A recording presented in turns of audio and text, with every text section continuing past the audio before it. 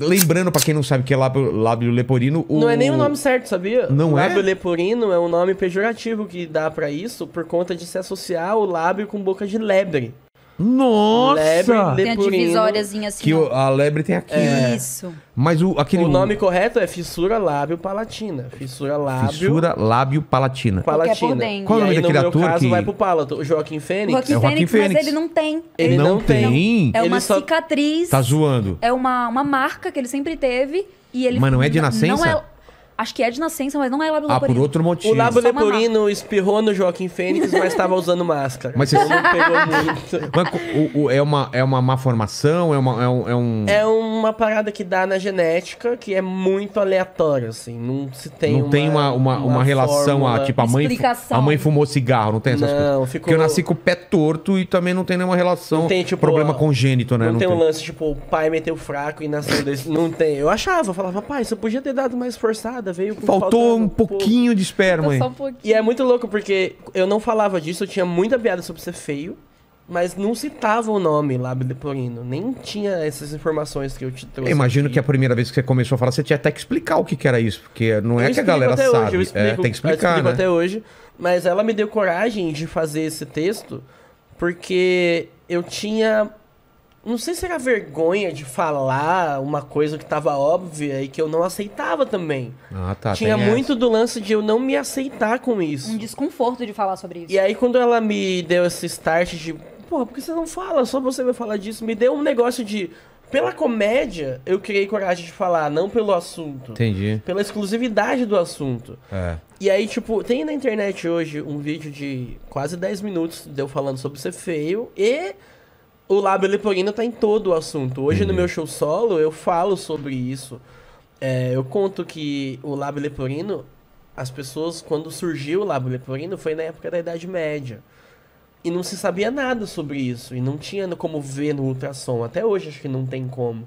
É, Você descobre se- quando nasce. Não sei se tem, tem uma resolução tão boa assim. né? Você descobre o lábio leporino quando nasce. E Entendi. na época, na Idade Média, as crianças que nasciam com lábio leporino eram pouquíssimas. Elas eram vistas como crianças associadas ao demônio. Ah.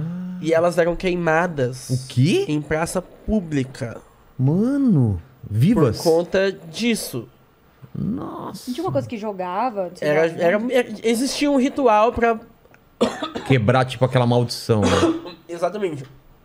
E eu não sabia disso, eu não sabia disso. E hoje eu trago isso pro meu texto, pro meu, pro meu show.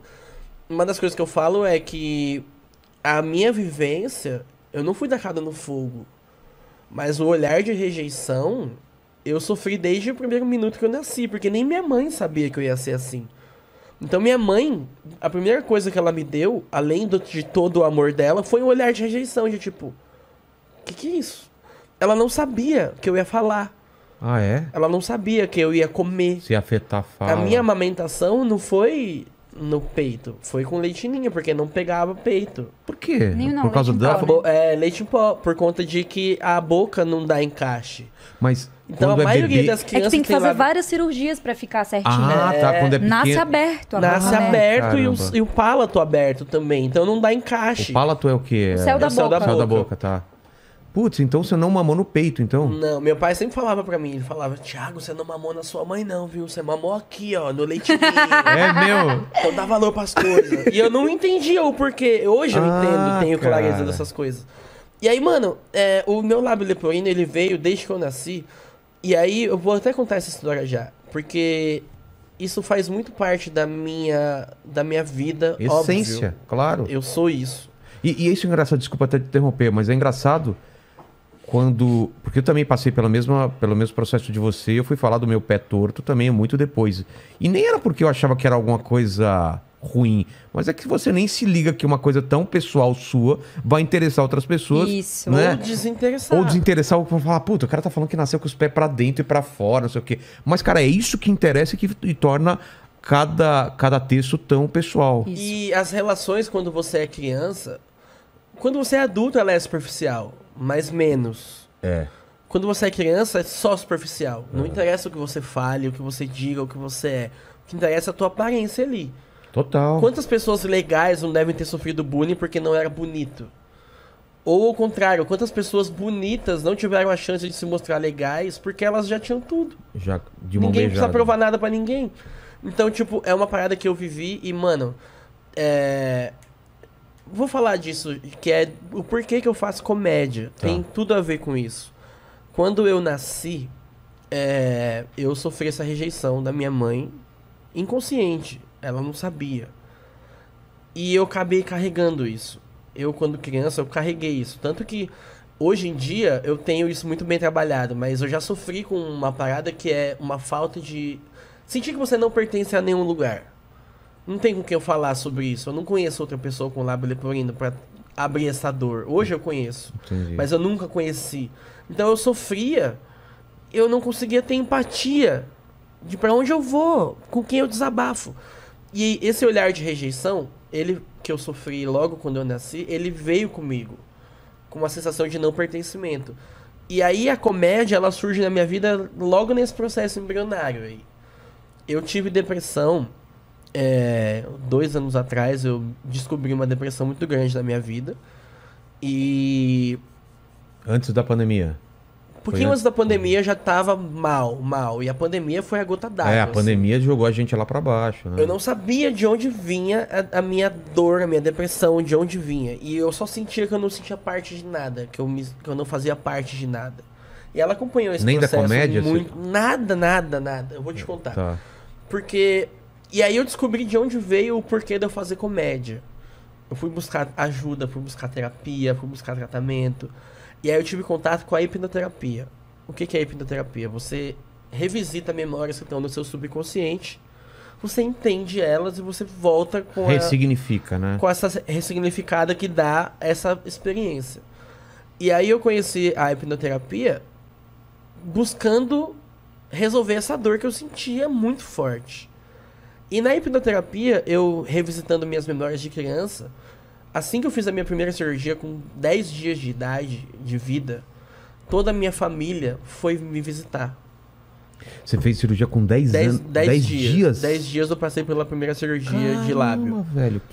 Eu- Isso você pode nem lembrar, mas com certeza tá impresso na sua memória lá profundamente, cara. Na hipnoterapia, a gente revisitou isso. Ah, é? E aí o que, que aconteceu? Eu tive uma memória revisitada de eu com 15 dias de idade, toda a minha família junta ali. Mas uma memória visual? É flashes, assim, você, Sei. você vê, você sente, você vê as pessoas em volta Que de louco. você na hipnose. Você tem que acreditar na hipnose. Claro. Você mergulha. Se você tá com a barreira, não funciona. E aí, nessa imersão, eu vi a minha família inteira em volta de mim, olhando a minha cirurgia. A minha primeira cirurgia. Isso já me causava desconforto, porque eu não queria ninguém olhando pra minha boca. E aí eu com 15 dias de idade, eu fiz a minha primeira piada, eu posso dizer assim. Eu comecei a peidar e me mexer de um jeito engraçado. Todo mundo começou a rir e dissipou o assunto. E tudo que a gente tem de vivência nos primeiros 15, 20 dias, cientificamente comprovado que você repete esse padrão. Ah, é? Você repete, fica na tua sinapse desde o, o pré-útero ali até a- os teus primeiros 15, 20 dias, aquilo fica na tua memória e é meio que inconsciente o ser humano repetir esse padrão. Quando eu, e aí eu revisitei uma outra memória que é eu com dois anos, isso eu já lembro, tenho clareza dessa memória, que é minha segunda cirurgia com dois anos de idade. Todo mundo da igreja dessa vez veio em casa pra olhar minha cirurgia nova. Tava todo mundo olhando minha boca, olhando minha boca. E tinha um cara da igreja, nunca vou esquecer dele, o irmão Humberto. Ele olhou pra mim e tava fazendo as coisas de igreja, orando e dando a benção, mas tava muita gente. E aí eu peguei e falei, com dois, três anos de idade, falei. Eu, o irmão Humberto, ele era magrinho, ele tinha um carocinho de pescoço, assim, sabe? Gogó. O gogó, o gogó alto. Eu peguei e falei, por que que o irmão Humberto tem um caroço de abacate no pescoço? Todo mundo riu muito. E de novo passou o foco da minha boca pra outra coisa. Entendi. Então, desde pequeno, a comédia ela tem sido uma fuga pra mim dessa coisa, a ponto de que eu não sabia disso. Eu fui entender só. Eu sempre fui muito engraçado desde pequeno, mas só pra me sentir à vontade. Uma necessidade de me sentir à vontade. Não por conta de que eu quero ser engraçado. Quero ser famoso, nada. E eu percebi que quando eu sou engraçado, eu me sinto bem. E aí quando eu descobri o stand-up com 17 anos, com 16, falei, o quê? O único momento da minha vida na escola é quando eu sou engraçado e existe um trabalho disso, Dá eu vou mergulhar nessa porra. Por quê? É, eu vou te contar agora da minha vivência de escola. Tá. Eu sempre sofri na escola. Não tenho uma memória boa de escola, Vilela. Uma, uma. Sério, velho? Não tenho. Escola pra mim é terrível. Eu associo escola a encontrar as piores pessoas que eu já encontrei na minha vida. Você não assim. queria ir pra, pra, pra Eu repeti escola? o segundo ano do ensino médio porque eu não tinha convívio social na escola. Eu apanhei na escola de 6, 7 até 10, 11. As pessoas me batiam. eu Por apanhava, nada. Por nada. Eu tenho memória das pessoas me pegando, abrindo minha perna, dando com o meu saco num poste e me largando no pátio. Caramba. E as pessoas passando em volta de mim, me olhando e ninguém estender a mão pra ajudar. Eu tenho essa, isso na minha memória.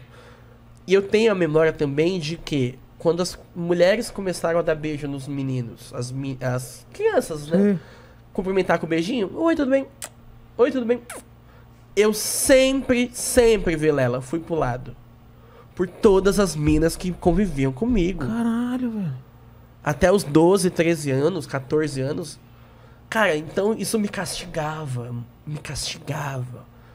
Eu vivia com essa ang- angústia E você não tinha nenhum existencial. brother pra trocar ideia sobre isso. Não tinha, não Você não- tinha ninguém que fosse entender. Você vai falar isso com sua mãe também? Estranho, né? Não tem como.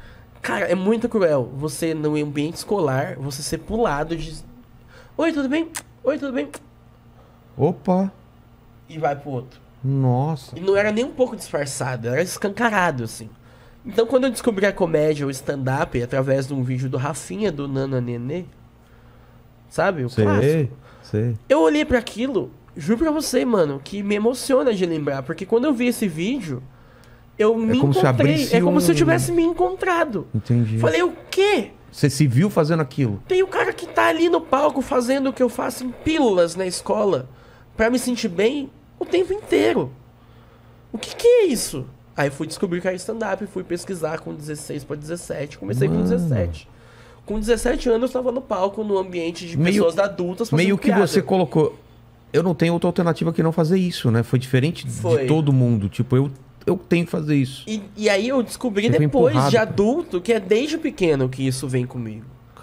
Eu tenho memória do meu melhor amigo de infância, meu vizinho de casa, o João, ele falando pra mim, Thiago, você não precisa ser engraçado em tudo que você fala. Você tentando ser engraçado. E eu não sabia que eu tava tentando ser engraçado só pra me sentir bem, porque é onde eu me sentia parte de alguma coisa. Pra você ter uma ideia, eu começo na primeira série da escola, sendo excluído, tendo todas essas dores que foram aumentando até 12, 13 anos. E eu termino o meu último ano do ensino médio sendo o aluno mais querido dentre os professores. Não Ah, sei é? se entre sala. Mas dentre os professores eu era o aluno mais querido da sala. Porque eu tinha a comunicação ao meu favor Entendi. as piadas e o que eu fazia na sala me colocou num lugar de aceitação. Então eu meio que passei a existir. É muito louco